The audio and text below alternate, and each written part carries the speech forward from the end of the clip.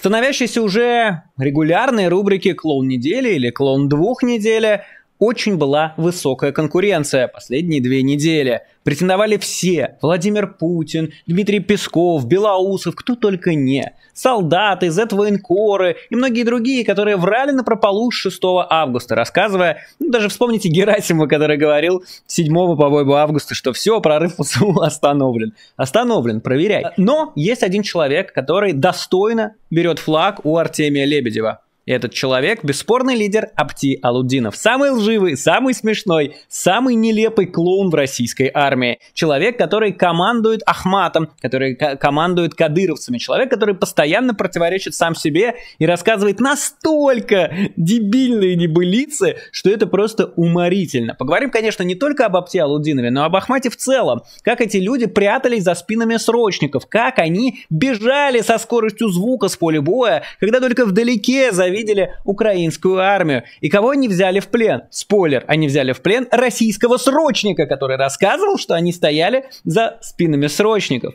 Но Апти настолько уникальный человек, что вот буквально перед записью этого видео он рассказывал, что э, украинские военные не контролируют Суджу. Вы скажете, ну рассказывал рассказывал, что мало что ли этих врунов в Минобороны и вот в российском Z-пространстве. Так-то да, но он это сделал ровно в момент, когда украинское телевидение показало кадры из самой Суджи, где э, украинская журналистка прям там находится. Украинские военные на самом деле не в первый раз вытаскивали российский флаг из местных зданий, ну то есть типа из флагштоков. На самом деле они это сделали чуть раньше, я не знаю, когда записано видео, а, я знаю, что такой, так сказать, ритуал был сделан на третий примерно день, когда украинцы зашли в Курскую область, но тем не менее, то есть все, там уже журналисты, там уже как бы, ну, не летают российские дроны, ничего нет. Нет, Аптиалудинов именно в этот момент решает сказать, что ВСУ не контролирует Суш. Это очень забавно. Впрочем, ну, поначалу он вообще рассказывал, что когда этот прорыв только начинался, что вообще переживать не стоит, а надо взять попкорн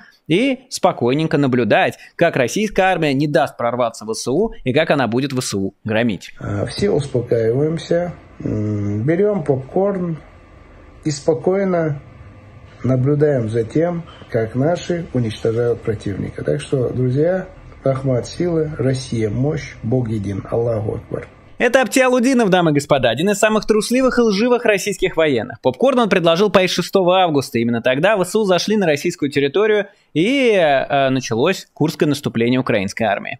Многие военкоры и обычные граждане рассказали, что подразделения Ахмат трусливо бежали со своих позиций, оставив срочников без поддержки. Именно для ответа им Апти записал это видео, ну, где предлагал поесть попкорна, с которого началась целая серия нелепых оправданий свадебного генерала, в кавычках. Критикующих бегущий Ахмат Z-блогеров Апти назвал петушками и ЛГБТшниками. А некоторые ну, петушки, э, ЛГБТшники, э, начинают там разгонять ситуацию, типа Ахмат ретировался. Вот э, на радость тем, кто к нам относится хорошо, и вот э, для того, чтобы расстроить этих петушков, хочу сообщить.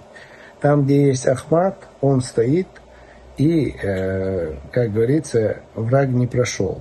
Э, вот там, где его нету, Ахмат не может находиться на участке в 400 километров границы Российской Федерации. Так что э, попрошу не разгонять, значит, детский сад – если э, это пишут э, жители Российской Федерации, ну, вы же больше героев. Соберитесь, дружно пойдите и встаньте там, как раз, где Ахмата не хватает. Вот вы будьте этими мужчинами, героями, которые не ретируются, а будут воевать. А так, для того, чтобы иметь общее представление – ничего критического а, не происходит. Чем же так разозлили позитивного Апти, считающего, что никакого прорыва нет военблогеры? Вот что писал тогда военкор Котенок. В реальности, как и два года назад, пишет он, на участках Курского направления границу держат пограничники. Там же территориальные подразделения теробороны из местных по прикрытию границы. За весь день сводок боевых действий я не встретил упоминаний о ТикТок-войсках. Неделю назад Ахмат в Сужне исполнял лезгинку, стреляя в воздух. Где сейчас эти люди? Лично мне неизвестно. Воюют те, о ком я сказал, они же и попадают в плен. Оружие у сил прикрытия границы только стрелковое, тяжелым вооружением они не располагают. Держать оборону таким оружием в условиях действий противника, владеющего инициативой при поддержке артиллерии и бронетехники, сложно, пишет военкор Котенок. Вот, за, вот за канал «Мы русские, нам пох» пишет.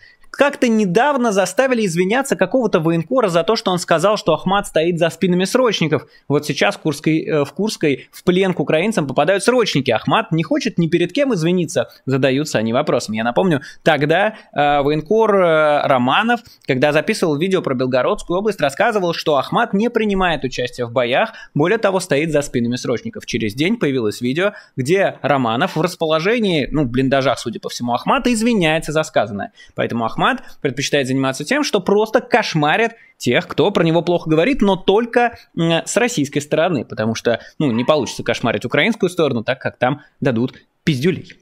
Алекс Паркер тогда писал. А теперь вспоминаем недавнее заявление военкора Романова, где он озвучил информацию, что цирк Ахмат прячется на границе за спинами срочников. А теперь в результате прорыва украинцев в Курскую область в плен и попали эти самые срочники. Напомню, что чеченцы тогда заставили Романова извиниться и взять свои слова обратно. Но вот какая интересная ситуация. В плен сейчас попали как раз срочники, а не представители этого самого цирка Ахмат. Можно сделать вывод, что Романов все-таки говорил правду, и так у них всегда, пишет Алекс Паркер. Когда стало понятно, что ситуация ухудшается, а Ахмата все не видно, Апти записал еще один ролик, самый на свете смешной. Просто, ну я не знаю, я, я много смотрю юмористического контента, чтобы иногда отвлекаться, но настолько смешного ролика я не видел давно. В этом ролике он решил объяснить, почему же в боях видно только срочников и другие подразделения, а Ахмата и след простыл. Давайте узнаем. Знаете, что интересно? Все ребята, которые наши вот, э, подразделения Ахмат другое, которое здесь э, находилось на границе, вот что интересно, они все до сих пор находятся на своих позициях. Э, противник, получается, разнес два мапа, вот, прошел, э, вначале прошел уже без, как говорится, мапов, через э, участки, где ну, большое расстояние от наших опорных пунктов было, вот, прошел там, потом техникой, как говорится, уже напрямую подскочил, подъехал танками, как говорится, раздолбал, раздолбал все эти мапы и прошел, получается, эти участки. Понимаете, хитрые украинцы ну, они просочились мимо Ахмата и не вступили в бой с бравыми ребятами Аптиалудинова. Как-то вот так вот они, понимаете, на танках, на страйкерах, вот как-то они на цыпочках так, так, так, так, так, так, так, так. Ахмат где-то там вообще, они где-то, ну, Курская, граница Курской области, она же, она гигантская, ну, то есть она километров, ну, 10 тысяч минимум. Да, и там легко вообще потеряться, заблудиться. И срочники не заблудились, а вот Ахмат заблудился. Обошли Ахмат. Где же он там стоял, что его якобы обошли? Подземном бункере, может, стоял. Удивляются с этого и Z-блогеры. Подлет пишет. Украинские военные прошли мимо опорных пунктов Ахмата на границе с Курской областью, рассказал в своем телеграм-канале командир чеченского спецподразделения Аптиалудинов. Какой хитрый украинец пошел! А должен был, видимо, прийти сразу на КПП Ахмата и предъявить документы. После этого в Курскую область поехало интернациональное отделение Ахмада, которое известно как АИД. Они, конечно, тоже постоянно врут, выдавая чужие кадры боев за свои, но они хотя бы реально сражаются. А что делали подразделения, которыми командовал Апти во время наступления ВСУ, остается загадкой. Ну, как загадка. На самом деле об этом рассказывают пленные срочники. Но здесь я хочу, чтобы вы поняли примерную структуру. Есть интернациональное подразделение Ахмада. Там не воюют чеченцы, там не воюют кадыровцы. Там воюют просто добровольцы, которые прошли через Чеченский институт спецназа. Ну или по-разному они из других могут. Вот, например, часть э, ЧВКшников тоже пошла в этот самый АИД, например. А Ахмат, который Ахмат, который прям кадыровский Ахмат, это вот как раз те, что драпали э, с невероятной скоростью. Поэтому, когда э, Апти или Z-военкоры пытаются сделать вид, что вот того Ахмата не существует, который аптишный на самом деле, э, они сильно лукавят. Ну, собственно, этот же трюк пытается потом проделать и Апти Алудинов, рассказывая рассказывая, что тот Ахмат, который, э, значит, чеченский, это вообще и не Ахмат вовсе. Это что-то прикол какой-то, не знаю. Ну, судя по всему, это действительно прикол, потому что, э, как выяснилось, эти чеченские кадыровские ахматовцы, они занимались ничем иным, кроме как просто развлекались и кошмарили российских срочников. Об этом рассказывают эти срочники в большом количестве. Вот, например, один из рассказов. Ну вот мы, блин, хотели, э, сука, увидеть этот, сука, чудный Ахмат. Ну вот мы его не увидели, блин. Что они там, великие войны у вас или кто они? Это пыль, пыль в глаза не просто, тиктокеры. Тиктокеры? Конечно, блин. Ахматовцы, сука. А вы в теплогранце или нет? Кто артиллерийский? У нас только погранцы и... Или вот рассказ о деятельности Ахмата. Было два случая встречи с Ахматом. Ну, первые даже встречи трудно назвать. Они просто ехали по лесу, ну, мимо лесополосы из Гуева в Суджу. И решили в лесополку пострелять. Нахуя так? Вообще, ну, не было, не было ничего. Никаких предпосылок, чтобы они постреляли в лесополку. И там, ну, у нас снаряды были тяжелые. Пришлось подрываться там, я не знаю, сколько час стоять по боевой готовности. Просто, ну, за нихуя командиру взвода было вообще максимально плохо. Ни попытки восстановить связь, то есть как-нибудь связаться, что-нибудь сделать, сделано не было. Ну, там ну и сам он не русский. Один из срочников объяснил, что Ахматову была дана установка не сдаваться, поэтому они сразу бегут заранее.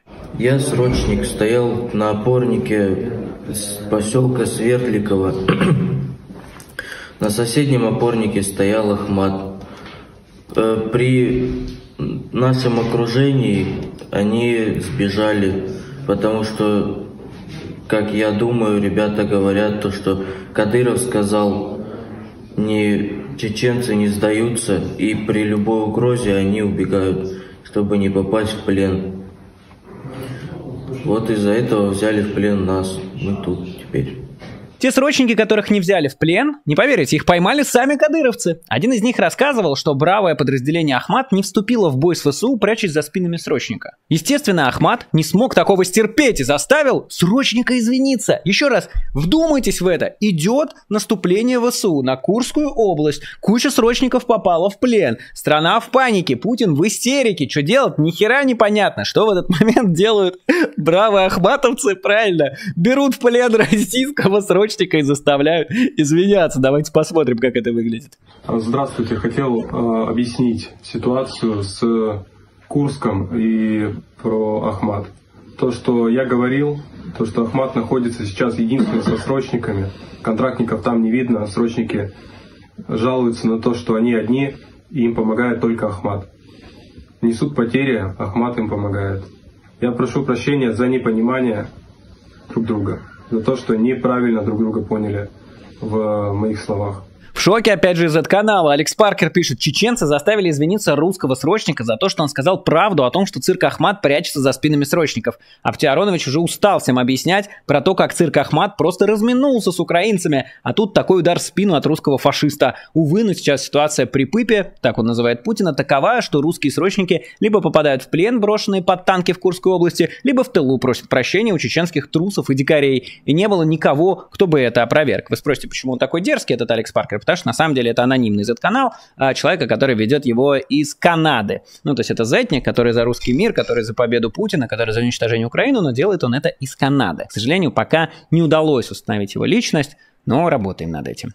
Z пишет, по всей этой ситуации с извинениями у меня только один вопрос. Кто выдал бойца ВСРФ, проходящую срочную службу в районе боевых действий, одному из подразделений Ахмат для записи извинений? Командир рота, командир полка и т.д. Кто эти люди? Находятся они на свободе или уже задержаны органами военного следствия? У нас боевые действия идут на территории России, а тут налицо грубейшее нарушение военного устава и законов России. Норин пишет, если от каждого, кто говорит, что чеченцы прячутся за спинами срочников, требовать извиняться на камеру, то все будут точно знать, Ахмат не прячется за спинами срочников, совершенно точно не прячется за спинами срочников бойцы Ахмата. Это вот уже как минимум второй человек за последнюю пару месяцев, который сидит перед камерой и говорит, что нет, совершенно не прячутся ни за чьими спинами доблестные бойцы Ахмата. Вот недавно был день ВДВ. Разве кто-то говорил, что десантники не прячутся за чьими-то спинами? Утверждал ли кто-то, что буряты из 5-й танковой не прячутся за спинами? Нет, никто не говорил про них такого. Про артиллерию и вовсе нельзя сказать, что она не прячется за чужими спинами. Расчеты гаубиц вообще стараются не показываться на передовой, а уже расчеты ЗРК так и вообще стараются на несколько километров не приближаться. Зато Ахмат точно не прячется, особенно за спинами солдат срочной службы, иронизирует он. Ему добавляет Эрос Маров. Чеченский Ахмат, который не состоит из российских добровольцев, не приписывал себе чужие достижения по штурму Луганской области, делая фотки после всех штурмовых действий как подразделение Росгвардии. Чеченский Ахмат не воздуханит о своей супертактикульной подготовке в институте спецназа, где, конечно, не ограничиваются стрелковой подготовкой полицейского спецназа, чей опыт слабо применим в условиях полномасштабной войны. Чеченский Ахмат не покидает позиции, когда видит серьезные противодействия слаженных армейских подразделений. Чеченский Ахмат не приукрашивает свои боевые способности как боевой единицы и часто скромничает. Чеченский Ахмат не заебал любого сочувствующего своего наблюдателя своими регулярными обсерами в сети. Чеченский Ахмат не слаб, не слаб, повторяет он. Вообще, судя по данным издания Информнапалм, которые прям активно... Слушайте, Информнапал вообще зайки абсолютно. Всем рекомендую их телеграм-канал, очень интересно. Они во время Курской операции сделали вот что. Они начали следить за судьбами кадыровцев и выискивать их по всей Курской области. Я не шучу. Они прям собирали свидетельства местных, те писали им, где кого видели, и, э, собственно, информнапалм они натурально геолоцировали часть кадыровцев, э, и я думаю, мы еще увидим результат этой деятельности. Так вот, судя по данным изданиям информнапалм, кадыровцы являются главной угрозой для срочников. Этот канал общается со всем, с кем, кто готов с ними раз, э, общаться, и передает данные ВСУ. Вот что они рассказывают. Это сокращенная информация, которая стала доступна благодаря российскому срочнику по имени Антон. Он попросил пока не называть его настоящее имя и заблюрить лица его сослуживцев. Мы держим слово, поэтому учитываем пожелания человека, на руках которого нет крови украинцев, и благодаря которому удалось обнаружить и идентифицировать группу кадыровцев, скрывающихся на Курщине. Изначально мотивацией рядового Антона стало даже не желание сохранить собственную жизнь, а жажда отомстить кадыровцам за издевательства, которые он и его сослуживцы терпели от боевиков подразделения Ахмат Россия, прибывших на Курщину в начале мая. По словам Антона, с начала мая до 6 августа кадыровские, э, кадыровцы периодически наведывались к ним в казарму, заставляли срочников выполнять действия сексуального характера и всячески издевались, избивали ногами и говорили, что они, цитата, «русские свиньи, которые должны сосать». Антон говорит, что чаще всего к ним в казарму приходил кадыровец по имени Заур из 1434 МСП, которого иногда называли байкером. Когда в Курскую область зашли украинские силы, Заур сбежал и скрылся в этом подлеске, где срочники видели его в последний раз 7 августа. Позже из подробного рассказа Антона удалось установить, что этот кадыровец э, Чааров Заур Ру, э, Расулович, член байкерского клуба «Ночные волки». Он родился в Гудермесе и сейчас прописан в Чеченской республике, село Антимок, улица Центральная, дом 11. Благодаря Антону удалось обнаружить еще четырех сослуживцев Заура из состава 1434 МСП, которые скрывались в других локациях на Курщине.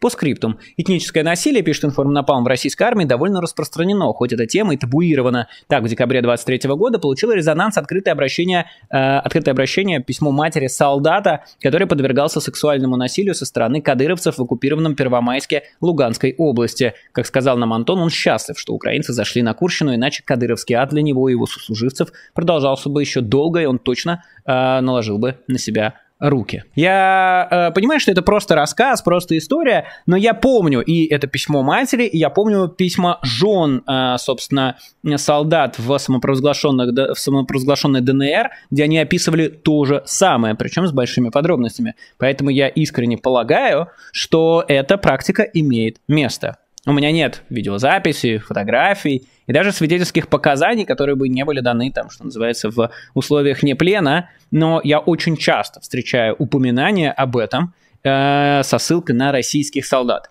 Поэтому мне кажется, что ну, для меня лично это звучит правдоподобно, хотя я понимаю, что источники информации вряд ли можно назвать на 100% надежными и верифицируемыми. Напомним, жителям Курщины пишет информнапалм Белгородчины и других приграничных регионов, которые стремятся к освобождению от расистов, а также российским срочникам и их матерям изо всех регионов временно существующей РФ, которая оккупировала кремлевская террористическая организация, вы можете написать нам в личные сообщения и передать данные, которые поспособствуют справедливой победе Украины. Только вместе с такой победой придет справедливый мир и защита от кремлевского и кадыровского террора. Я в этом смысле информнампал поддерживаю. Э, собственно, пожалуйста, переходите, подписывайтесь на их канал, классные ребята. Но, кстати, в итоге оказалось, что не все кадыровцы так быстро бегают, как про них говорят срочники. Часть из них попала таки в плен, будучи нагнанными в СУ. Проект «Хочу жить» опубликовал видео с пленными ахматовцами. И вот оно.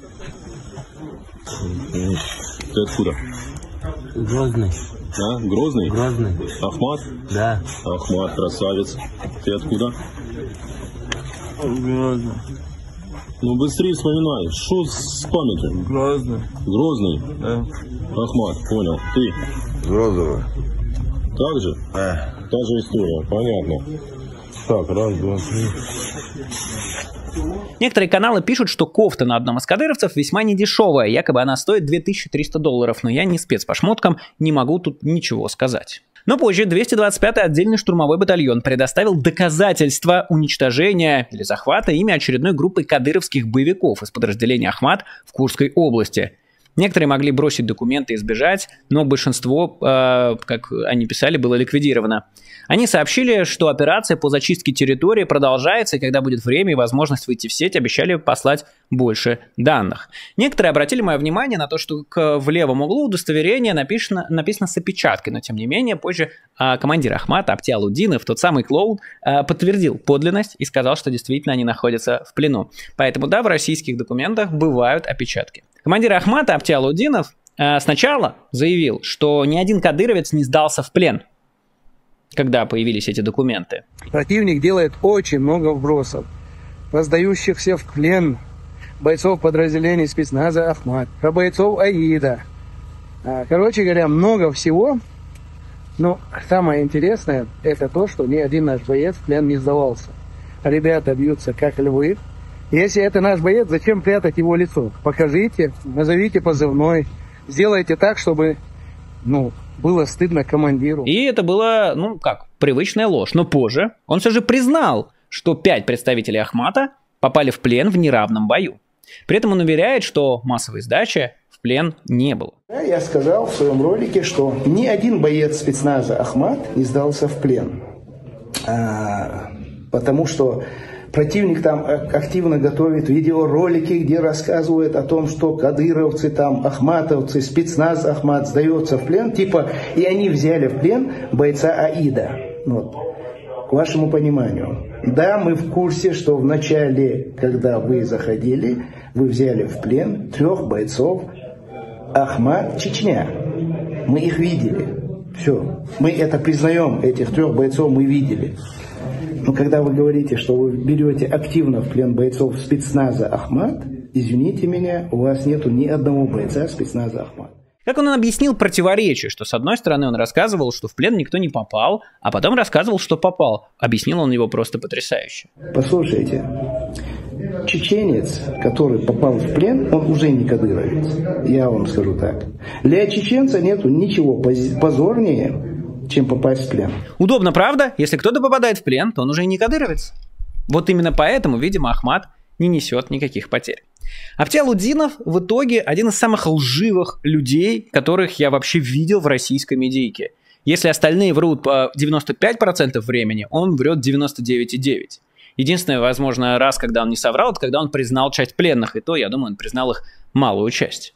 Как вывод, Ахмат, Чечня, вот этот настоящий Ахмат, которым руководил Аптиал-Удинов на границе Белгородской и Курской области, это настоящие трусы. Они могут стрелять по кустам, таких видео довольно много. Они могут запугивать срочников, насиловать срочников, издеваться над ними. Они могут брать военкоров, которые про них плохо говорят, заставлять извиняться на камеру. Брать в плен срочников, которые про них плохо говорят. Знаете, чего они не могут? Они не могут сражаться. Они слишком пугливы для этого.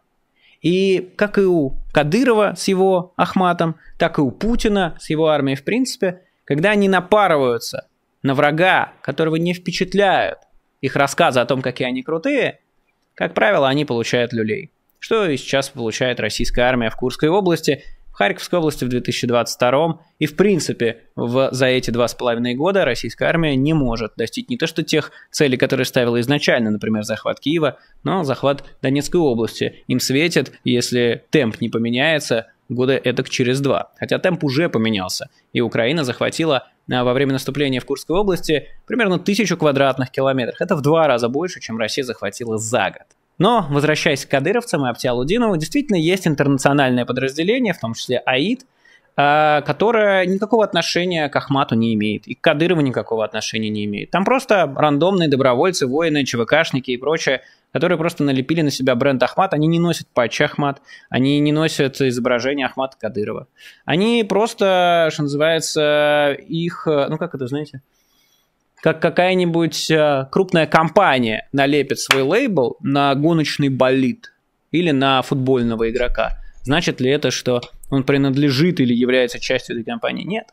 Он просто рекламная площадь. И этот АИД тоже является рекламной площадью, причем которая на самом деле довольно уморительная, потому что ЧВК «Вагнер» тоже долгое время делали вид, что они невероятно крутые. Оказалось, что это самое э, ущербное подразделение российской армии, что они понесли больше всех потерь, что у них самое ужасное соотношение раненых к убитым, и что когда убили их командира, когда убили их Пригожина, когда убили Уткина, они просто проглотили это.